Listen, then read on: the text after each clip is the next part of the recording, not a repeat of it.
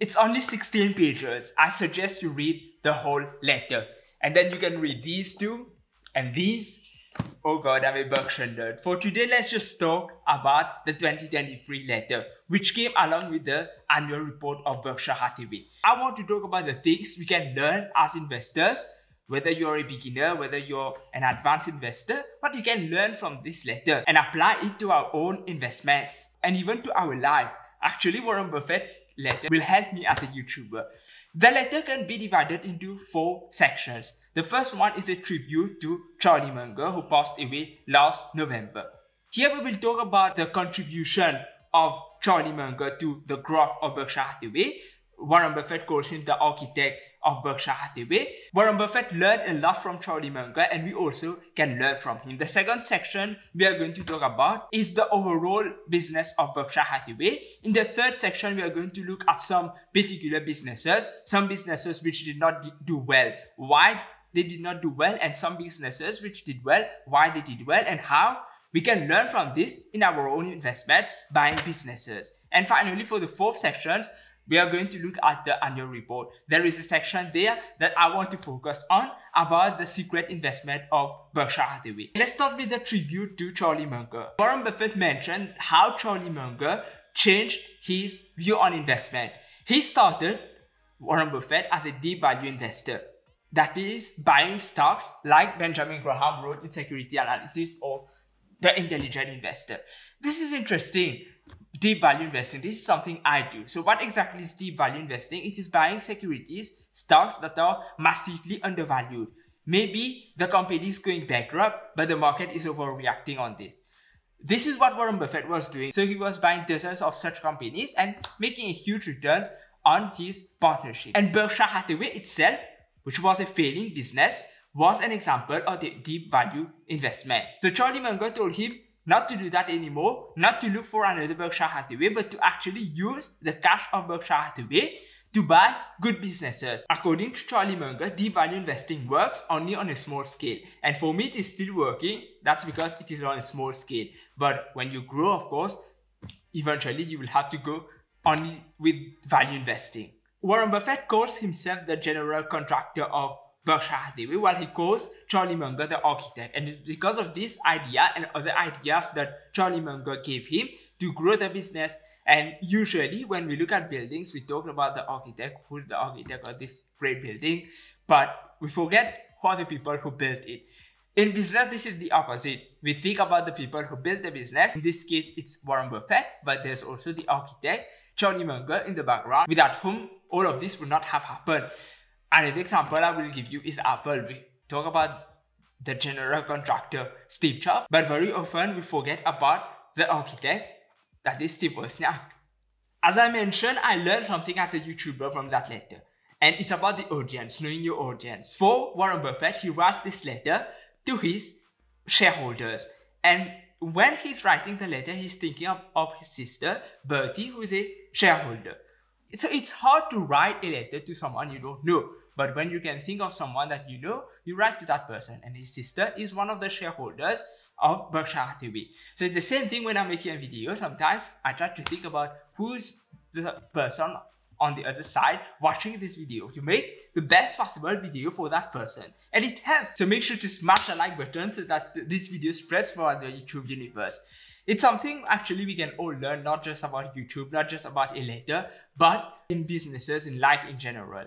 Warren Buffett then writes about net income versus operating income. This is something that he has been writing about for the past years, that because of the changes in the accounting principles, the net income of Berkshire Hathaway does not give us a good picture of the real earnings of the company because it takes into account unrealized capital gain and they own so many stocks that their fluctuations in the stock market affects the net income of the company. But in reality, the operating earnings, the earnings that the company is generating, is not uh, fluctuating that much. Now coming to the best section in the letter, this is the part I like the most, where Warren Buffett writes about the goal of Berkshire Hathaway. The goal of Berkshire Hathaway is simple, and this is something we should do as investors. Have simple goals. So we buy businesses, full businesses, a portion of them. These businesses need to have good economics, good fundamentals, and they need to be enduring. There are a few things we can look for for such businesses. One of them is returns on invested capital. He did not use the words returns on invested capital, but even if you are going to read his past letters, you will see that he talks about uh, returns on invested capital. That is, you want to invest in a business which requires low capital invested but gives you high returns. So if let's say you have invested $1 billion in the business and when we are talking about invested capital, it includes debt and equity. The business is giving you only let's say 50 million. It's not worth it you invested so much money. Maybe for the first couple of years, you are not making that. But if over the long term, you're still making $50 million, it's not worth it. But another business is making 200 million. It's a much better business. If you want to learn more about returns on invested capital and other metrics I use to find quality businesses, you can have a look at my course on the Superinvestors Club. The Superinvestors Club is a club for value investors. This is where we meet, where we share ideas, where we share our analysis, our thesis, and of course, we grow our portfolio together. And finally, Berkshire Hathaway looks for businesses with good management. And over the long term, he expects that these businesses are going to do better than the average American corporation. And if Berkshire Hathaway owns these businesses, of course, Berkshire Hathaway is going to do better than the average American corporation. And if you're going to read his past letters, you will understand what he means by the average American corporation doing better than them. He's not talking about stock prices.